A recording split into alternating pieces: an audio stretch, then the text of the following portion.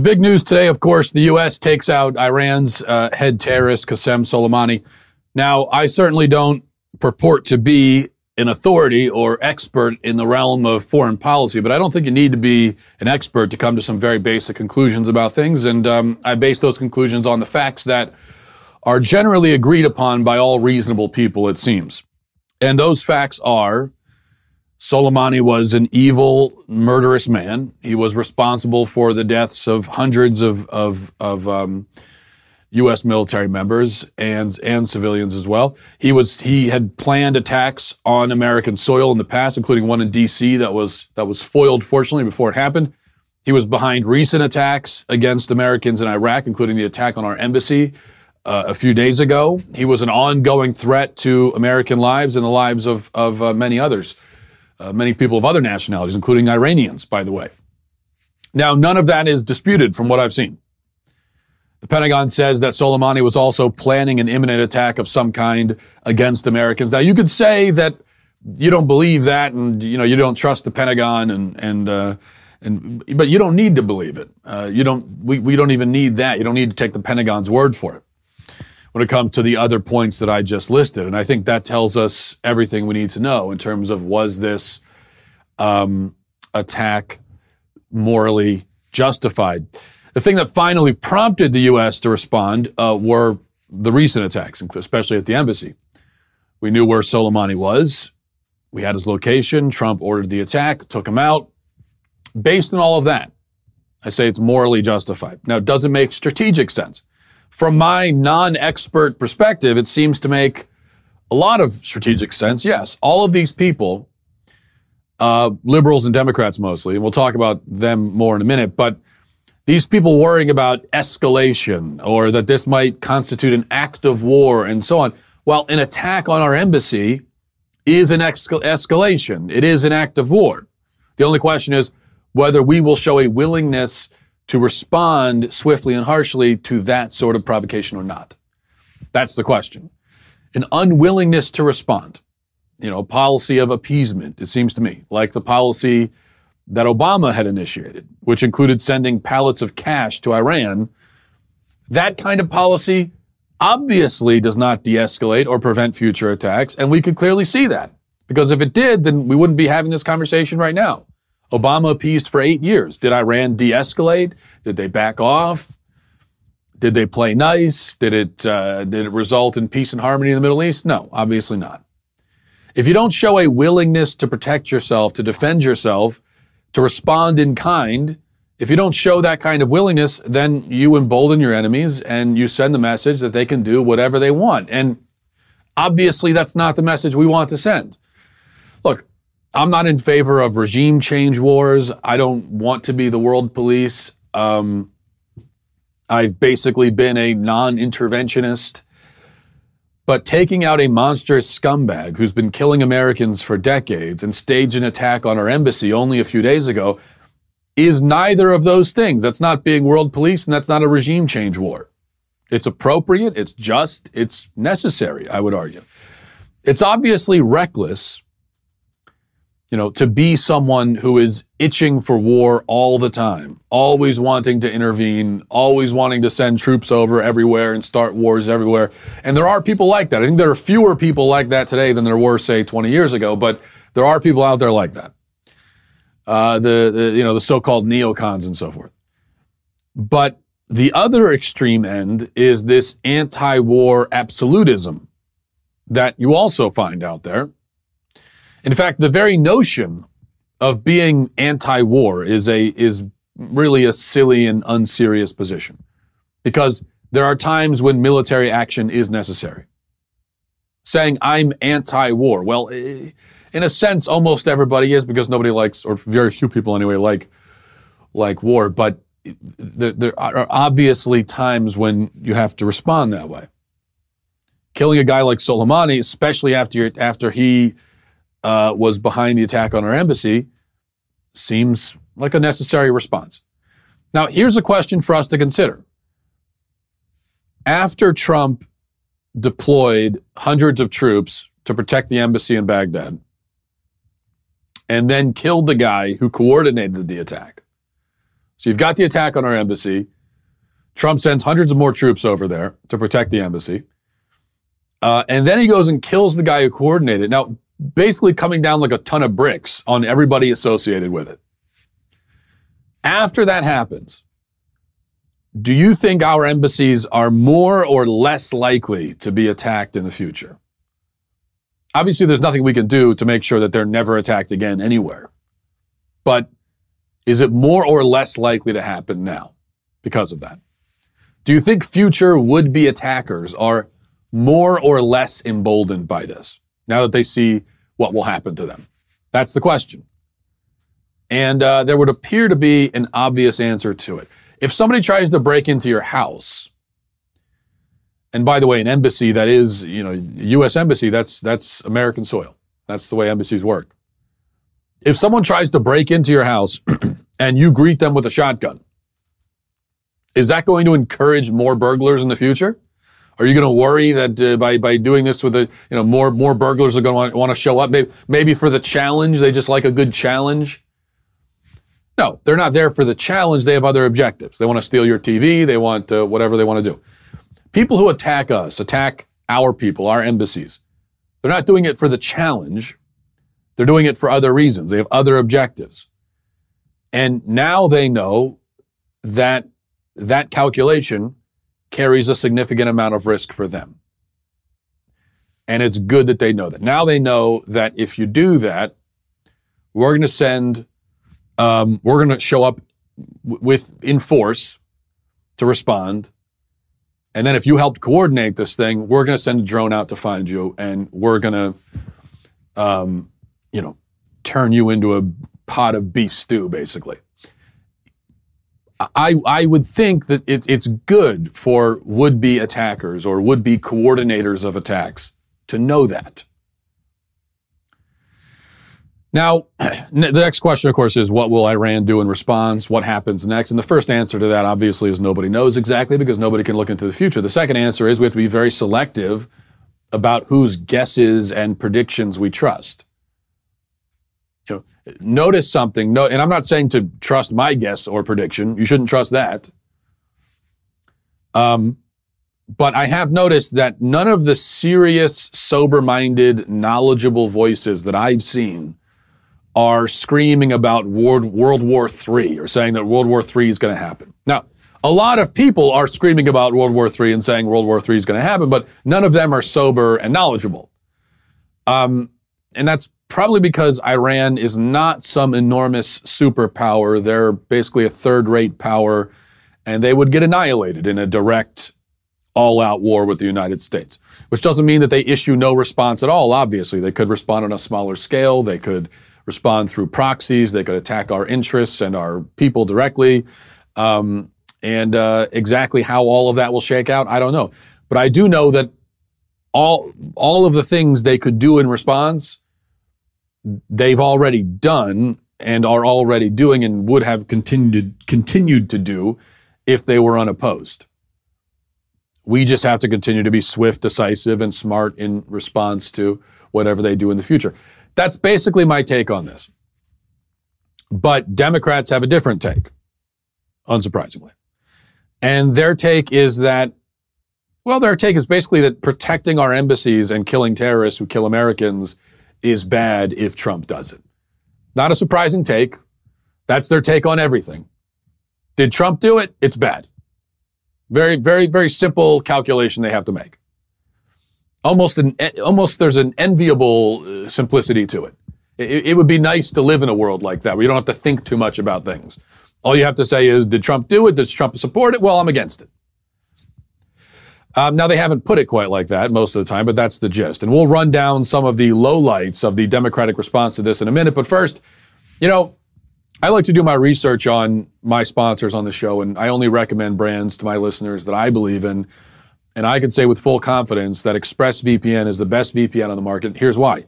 Um, ExpressVPN doesn't just log your data. They have uh, you know lots of really cheap and, and free VPNs make money by selling your data to ad companies. That's not what Express VPN is all about. ExpressVPN developed a technology called Trusted Server that it makes it impossible for their servers to log uh, any of your info.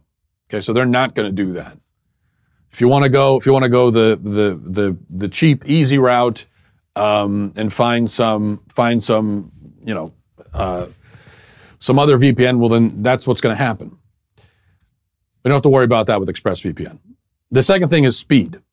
Now, I've tried lots of VPNs in the past. Um, many of them sl- slow your connection speed down and make your device is very sluggish. That's that's a, a problem for me, especially because I live my entire life uh, on the internet, unfortunately. So I've been using ExpressVPN for months, and my internet speeds are blazing fast. Even when I connect to servers thousands of miles away, I can still stream HD quality videos with zero lag. The last thing that really sets Express ExpressVPN apart from other VPNs is how easy it is to use. Um, unlike other VPNs, you don't have to input or program anything, which is also good for me because I really don't know. Even though I'm on computers all the time and I'm on the internet all the time, I'm, I'm, I'm also uh, basically illiterate with it. I don't know what I'm doing with computers. So um, they make it very easy. So you know you have that security. Um, you know you have uh, the convenience of it. You know you have speed. It's easy to use.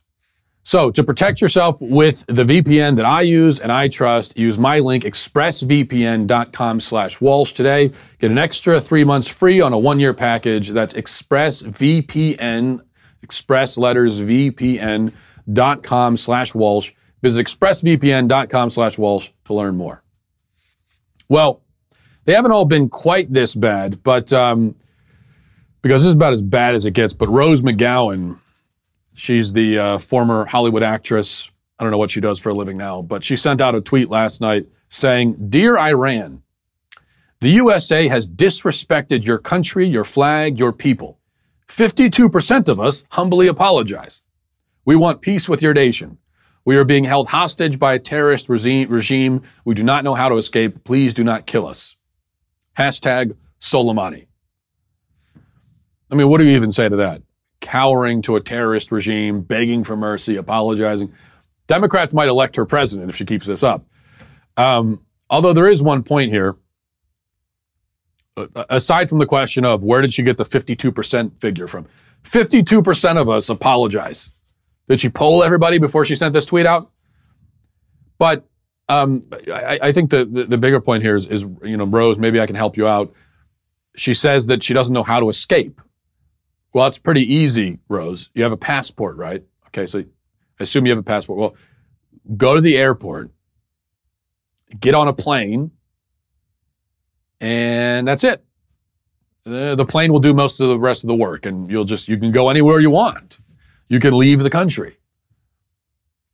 And you know, I, I'm I'm not one to always resort to the if you don't like America, get out thing, but if this is your position that you're that there's a terrorist regime in power, you're being held against your will, you know, um, then you, you just I, I mean, if I felt that way, I would leave. So you are free to do that. In fact, you could go to Iran if you want, deliver your love letter in person. See if you like how you're treated over there. Meanwhile, a reporter for the New York Times, and, and I'm not making this up, a reporter for the New York Times, hours after the strike, posted, well, I'll just show it to you, uh, posted this video. Watch. یاران همه رفتند افسوس که جا مونده منم حسرتا این گل خارا همه جا رونده منم پیر ره آمد و طریق رفتن آموخت آنکه نارفته و جا مونده منم Here's the caption that went with that video. Uh, rare personal video of General Soleimani reciting poetry shared by a source in Iran about friends departing and him being left behind. Totally normal, right? You're, you're posting this sympathetic video of the terrorist reciting poetry. This is like right after bin Laden was killed. Here's a silly video of, of, of Osama singing Take On Me at Taliban karaoke night. Um, meanwhile, a CNN reporter Sam Vinograd tweeted Soleimani was a terrorist who was responsible for, for horrific actions. Iran will consider this an act of war. President Trump doesn't rely on intelligence for anything, so it is unlikely that he fully understands the repercussion, repercussions of this action. Iran will consider this an act of war. They attacked our embassy. That was an act of war. The act of war already happened. What kind of gutless nonsense is this? A country makes an act of war against the United States, and you say we shouldn't respond to the act of war because it would be an act of war? Oh no, we can't respond to an act of war with an act of war because that might cause them to do an act of war. I mean, another act of war on top of all the other acts of war they've already done. But you know, we can't. That, that, and it gets worse. Uh, the Daily Wire has an article up right now compiling the Democratic reaction to um, the Soleimani strike. Let me read some of this on the dailywire.com. It says Socialist Democrat presidential candidate Bernie Sanders responded by tweeting Trump's dangerous escalation brings us closer to another disastrous war in the Middle East that would cost millions of, uh, cost countless lives and trillions more dollars. Trump promised to end the endless wars, but this action puts us on the path to another one. Democrat presidential candidate Elizabeth Warren responded by writing on Twitter Soleimani was a murderer responsible for thousands of deaths, including hundreds of Americans, but this reckless move escalates the situation with Iran and increases the likelihood of more deaths and new Middle East conflict. Our priority must be to avoid another costly war. Let's just, before I continue, let's review what they're calling a reckless, you know, thoughtless move. It was killing the guy who Elizabeth Warren herself describes as a mass murderer who was in Iraq after having just helped coordinate attack on an American embassy. Killing that guy was reckless. Okay. Democrat presidential candidate Marianne Williamson responded by writing, Prayers for peace killing of Qasem Soleimani was by mil- U.S. military was one of the most reckless, irresponsible direct actions ever directed by a U.S. president. Congress deserves condemnation for allowing it, and Americans need to understand this. War with Iran would be totally disastrous. Well, Marianne, maybe you could um, grab your peace crystal and get to work. I mean, really, I blame you. You're the one that's supposed to be harnessing all of the goodwill and all of the positive energy in the universe through your crystals. Where have your crystals been? What did you leave them up in the attic? Get the crystals out. Get to work. The whole world's going to come to an end because of you, Marianne. Far left political commentator Krystal Ball tweeted, speaking of crystals, um, no one voted for this, no one authorized it, and yet here we are in the precipice of war with Iran. If we assassinated Soleimani, it's hard to overstate just what a massive escalation and dangerous situation this president just put us in. Democrat president, presidential candidate Andrew, Andrew Yang responded War with Iran is the last thing we need and is not the will of the American people. We should be acting to de escalate tensions and protect our people in the region. Far left Young Turks writer Emma Vigeland tweeted Imagine the Iranian government assassinating Mike Pompeo with a drone at the direction of the president and called it self defense. That's exactly what the U.S. did by killing Soleimani, an act of war. Um, Democrat Senator Chris Murphy said just a few days ago that Trump has rendered America impotent in the Middle East. No one fears us. No one listens to us. Um, but then Murphy responded to news that Trump killed Soleimani by writing, Soleimani was an enemy of the United States. That's not a question. The question is this As reports suggest, did America just assassinate, without any congressional author- authorization, the second most powerful person in Iran, knowingly setting off a potential massive regional war? Um, and uh, on and on and on. So you get the you get the gist of it. You've got the media, you've got Democrat presidential candidates. They're all opposed to it. They all are are worried about uh, war with Iran. Look, okay, a few a few things here. First of all, calling this an assassination is just straight up Iranian propaganda. You may as well be working for the Iranian government. Soleimani was a terrorist operating illegally. He was an aggressor against the United States. He was killed in a war zone. This was not an assassination. Assassination is what they will call it. Comparing it to killing a U.S. official like Mike Pompeo, that's that is again Iranian propaganda. That's what that, that's how they're going to phrase it. That's how they're going to put it and frame it.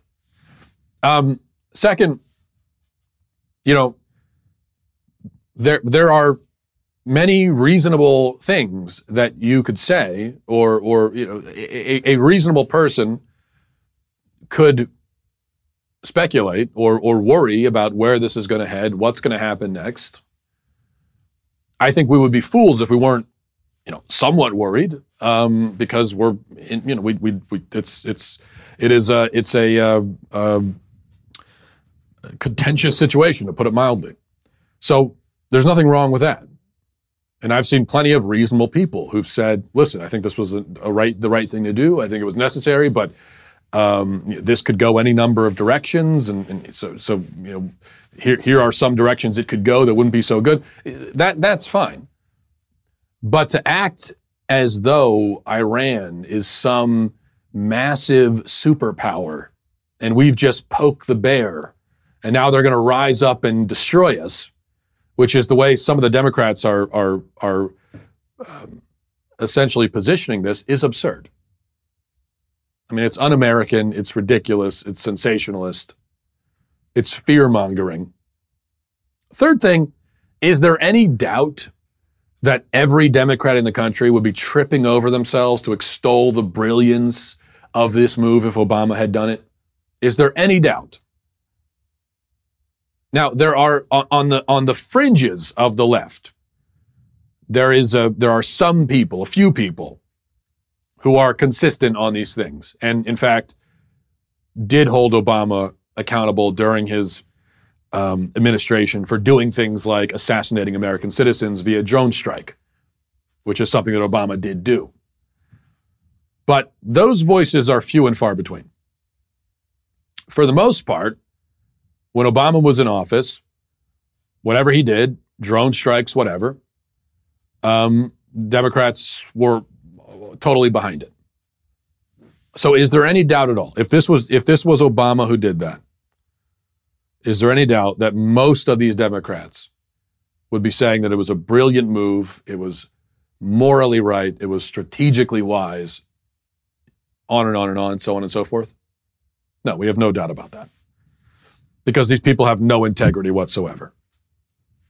You could claim that the same is true on the other end. And if Obama had done this, most Republicans would be criticizing it. But that's actually not true. And I'm, I'm not saying that Republicans are above being tribalistic. They obviously aren't. But on, on issues like this, Democrats are far more tribalistic. When it comes to, in my view, when it comes to foreign policy especially, Democrats are far more tribalistic and are far more um, uh, uh, likely to completely change their foreign policy principles depending on if it's a guy with a D or an R next to his name in the White House.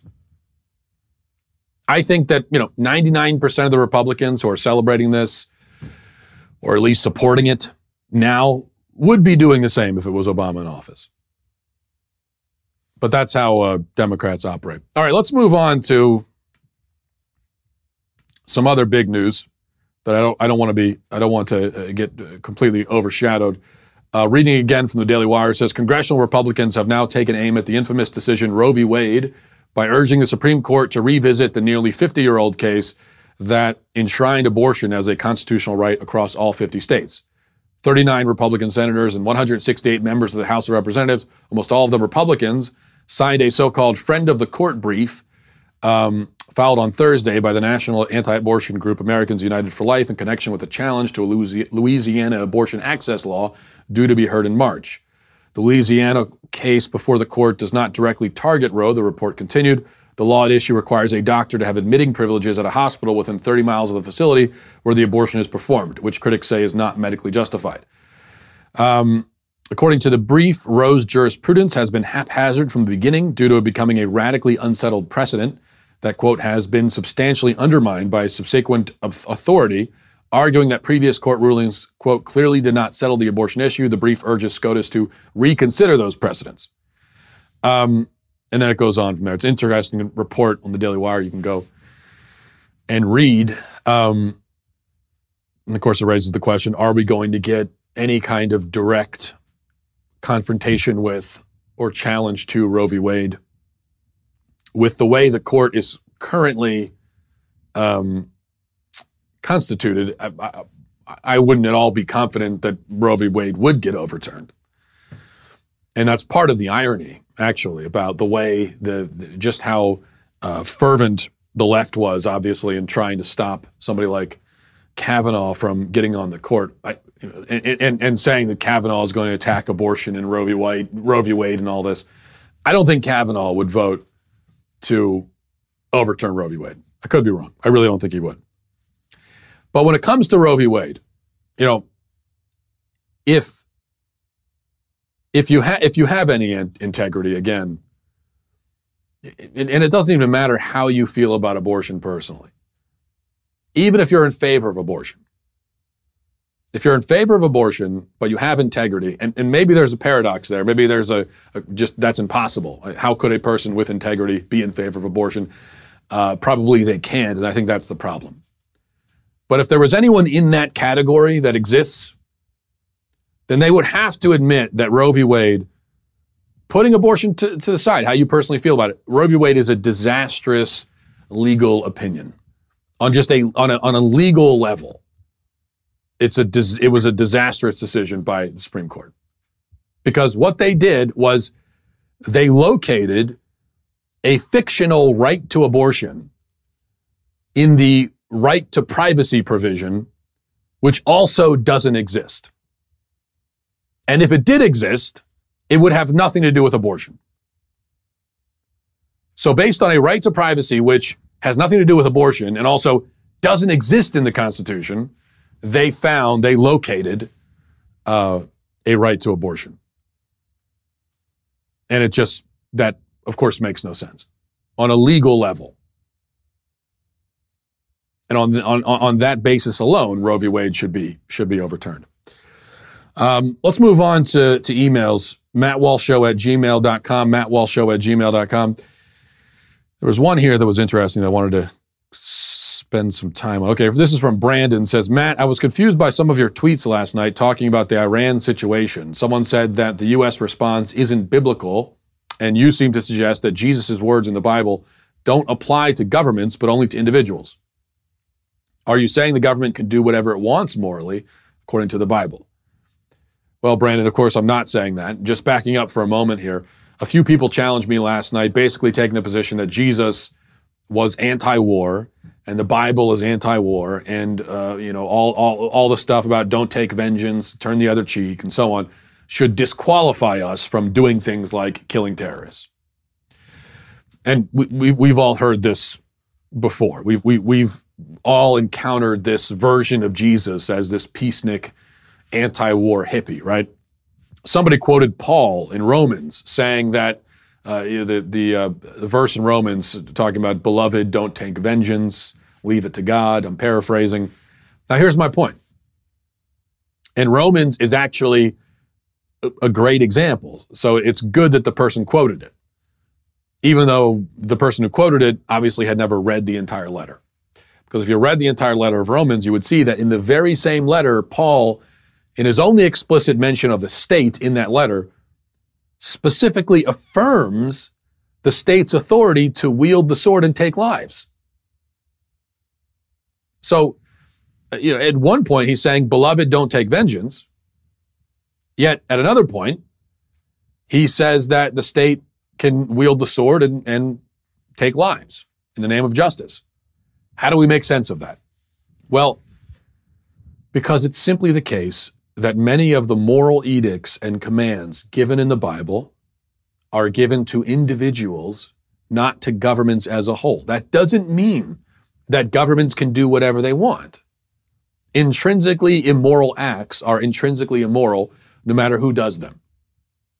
So, rape is intrinsically immoral, um, which means that individual people can't do it, and the government can't, uh, you know, come up with some policy where they, uh, you know, subject prisoners of war to rape or or, or whatever.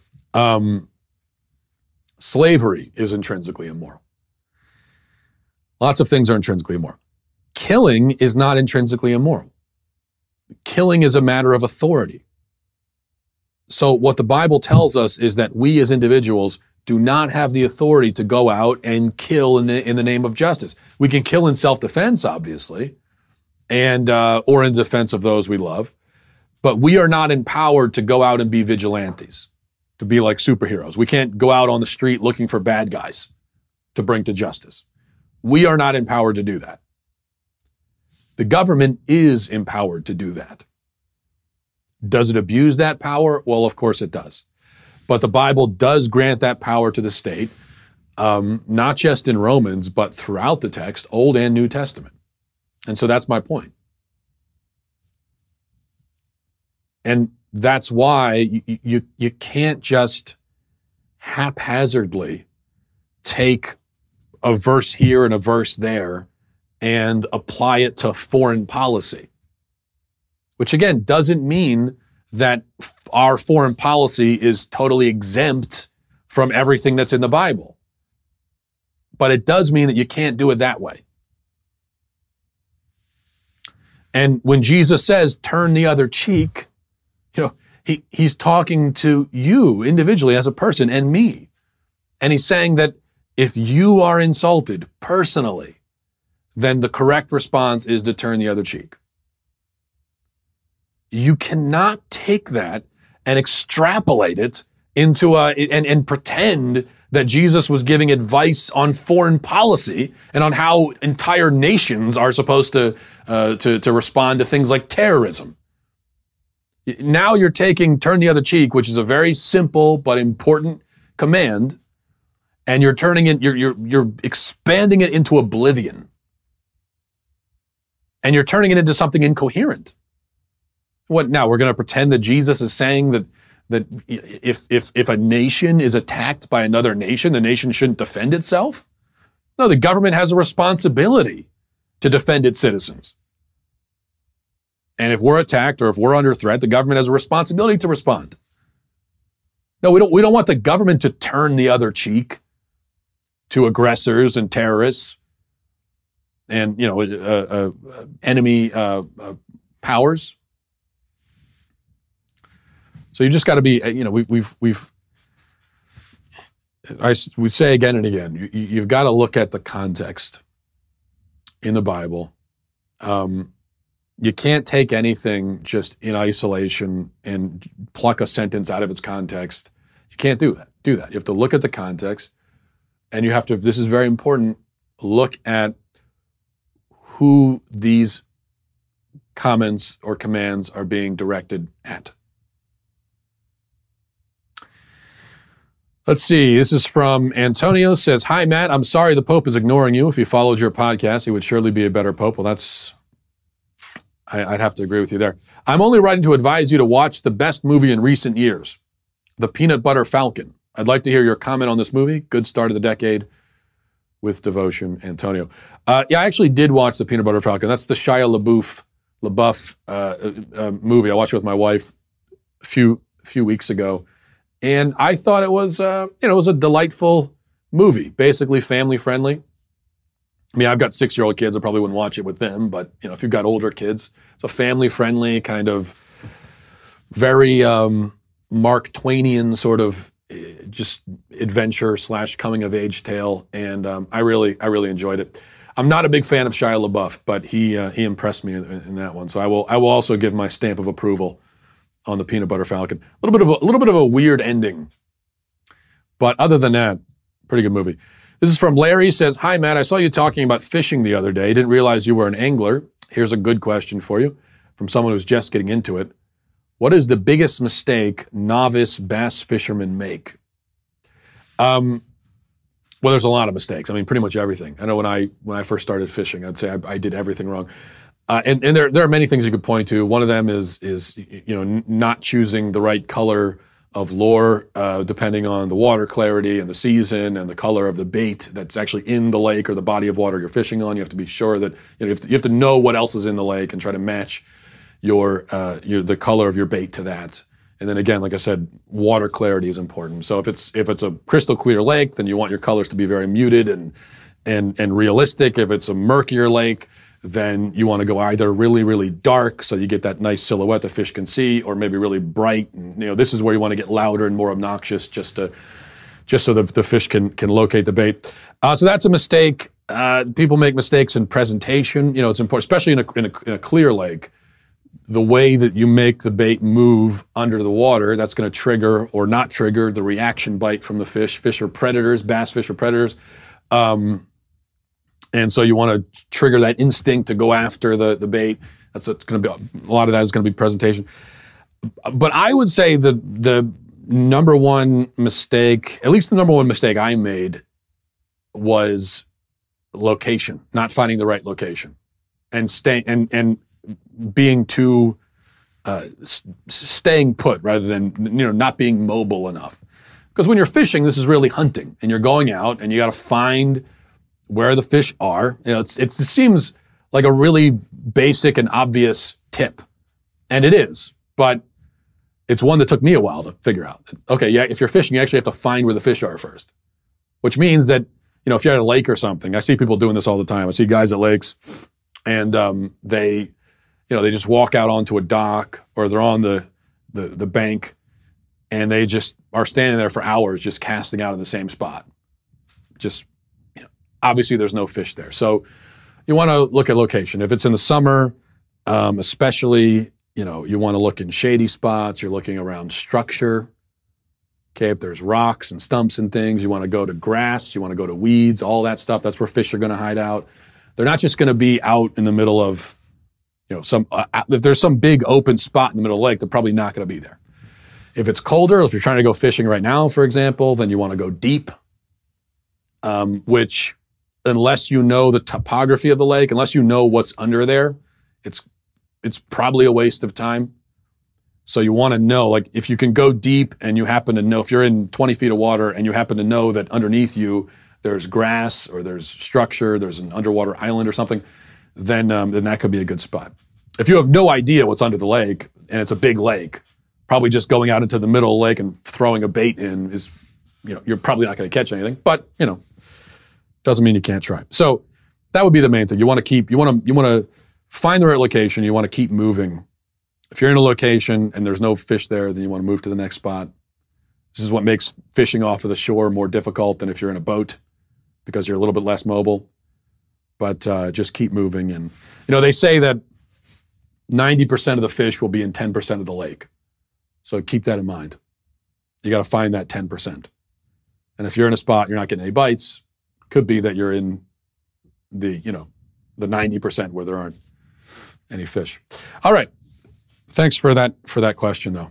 I, I did threaten on Twitter a few days ago to do an entire show on bass fishing tips. And don't put it past me to do that. If I keep getting emails like this, you know, you might tempt me. But thanks for that. Um, and hope everyone has a great weekend. Nice short week for us. Godspeed.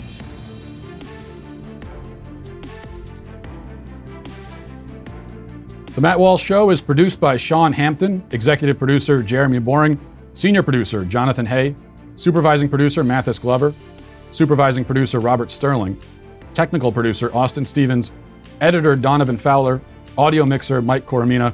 The Matt Walsh Show is a Daily Wire production, copyright Daily Wire 2020. If you prefer facts over feelings, aren't offended by the brutal truth, and you can still laugh at the insanity filling our national news cycle, well, tune in to The Ben Shapiro Show. We'll get a whole lot of that and much more. See you there.